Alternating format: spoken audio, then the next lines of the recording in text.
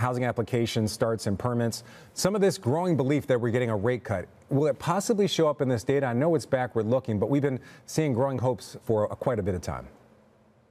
The Builders confidence data that looks out six months, it had a little bit of slight uptick yesterday. So, you know, rates have actually fallen uh, a little bit more than 1% since the highs of last year. So it's a little bit too early to get any of the lower rates into the data line. But I think the story going out is uh, we're worried about construction labor. Multifamily permits are near recession lows. Single family permits have been falling. So you want to keep an eye on single family permits when the housing starts data comes out today and see if that decline in the last few months have uh, settled down any. All right. You know, I always thought real estate was about location, but apparently it's about inventory, Logan. It's really about inventory, at least nowadays. So inventory is growing. According to your data, back in March of 2022, we had 240,000 single family homes for sale. Last week, you said that's 650,000, obviously more than double, doubling. But here's a real question Is that enough to meet demand? Is that a, enough to lower prices that just seem to keep going up and up?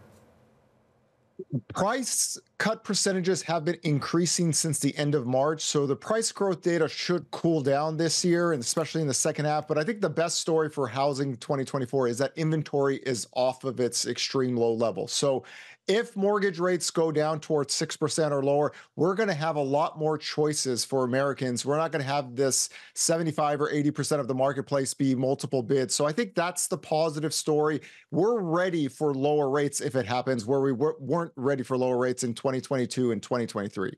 All right, so you're saying if it happens, we're ready. Um, one area of the housing market that has been a lot of questions about, just due to the rise of uh, prices, is the lower end and, and the middle uh, tier when it comes to housing buyers. When we look at that inventory, how much of that is uh, priced for them? You know, unfortunately, affordable housing is almost like a myth here in America. Um, inventory is growing generally on all levels, but more than 40% of the growth in inventory comes from Texas and Florida. And a lot of that is basically uh, property taxes and insurance has made housing uh, less affordable in those areas on all price points. Uh, the only way to alleviate affordability is either rates come down uh, uh, low enough or rates and prices come down. Prices, it's on a national level, we're not there yet. Uh, but affordability will happen when rates come down and uh, wages grow. So this is going to be a, probably a multi-year process.